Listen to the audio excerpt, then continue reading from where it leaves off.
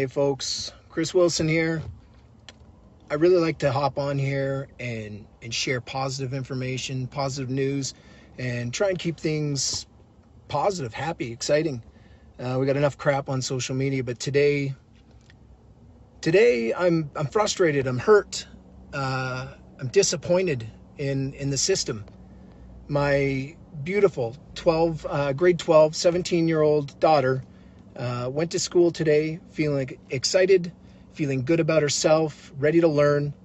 Uh, and she sat down in class and after a short period of time was centered out by the teacher and was told the outfit that she was wearing made or could make her or the teacher's assistant, who was a male, feel uncomfortable. So she was removed from class, uh, brought down to the principal's office, and sent home.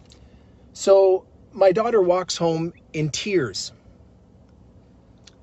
And I'm sorry, it, it's I'm holding the camera, and if it's shaking, I apologize. I'm I'm pretty upset at, at this happening in 2021. We've seen this show up online. We've seen things, stories of things happening throughout the United States or somewhere else, and it can never happen to us. It'll never hit home, uh, and it hit home. It's the, I, I can't even explain how disappointing it is that in 20 21 for a teacher to center a student out and say what you're wearing is making people feel uncomfortable uh, and drag her out of the and drag her down to the office. So a little background i heard this story and i was livid. I i you know and i'll post a picture of her outfit and then you can you can decide from there but i'm pretty conservative. I've always wanted my children to dress conservatively and that's neither here nor there but regardless she was sent home wearing for wearing this beautiful dress and a turtleneck because uh, we know how uh, you know inappropriate turtlenecks can be. They just you know that's why they sell so many of these things. Uh, so I talked to the principal and I asked, or the actually spoke with the principal and was referred to the vice principal, who understood what had happened was wrong, but was just kind of like, oh crap, we're in it now. Uh, the principal actually, and I asked, I said, okay, was this the outfit she was wearing? Which she confirmed, yes. I asked her if she felt that that made her feel uncomfortable, and she quietly said no, and that she didn't feel there was an issue with it.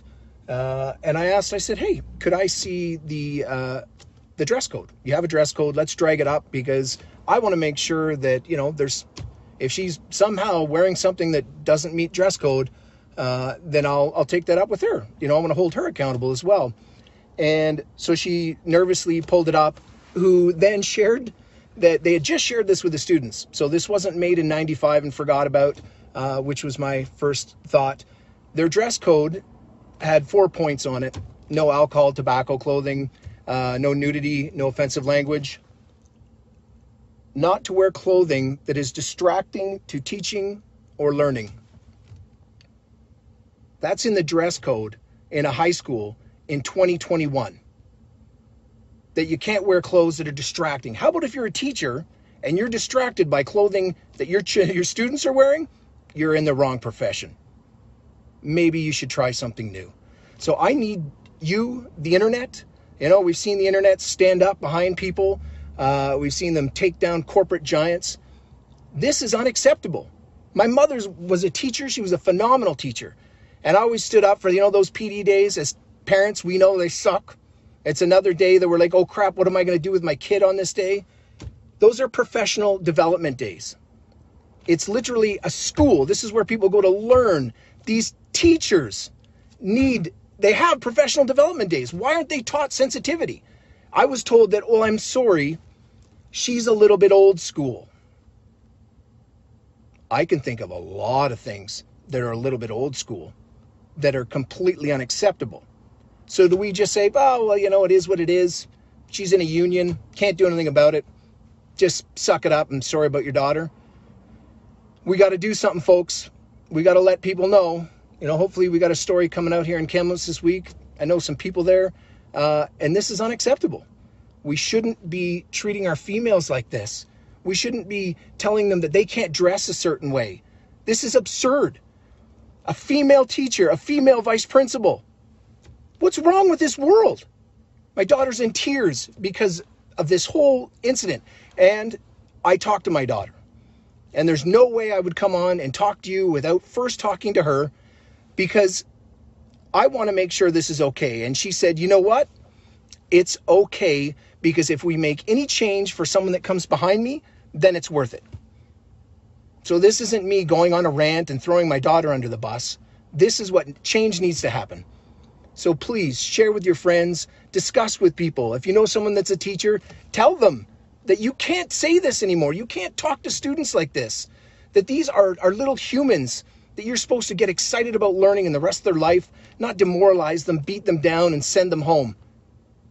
So you tell me, I'm going to post the outfit. I think she's beautiful. Uh, everyone's got their, their own opinion, but I mean, uh, it, a turtleneck. She's wearing a turtleneck under a black dress that goes to her knees. So you be the judge. I love you guys. I'm sorry that I came on this frustrated, but this is something's got to change. So I'm just going to stand with my daughter, and I hope that other people stand up, and I hope that there's change. I hope that they do some professional development that includes some sensitivity training and, you know, how to not hold women back when you're a woman holding women back. I, no one should hold anyone back. How about that? It's a school. We're supposed to get people going. All right. I love you guys. Uh, pass it on, share with your friends. Let's make sure that this never happens to anyone's daughter. And I've seen a bunch of comments that say this has happened to their kids. And this is a thing. We got to fix this.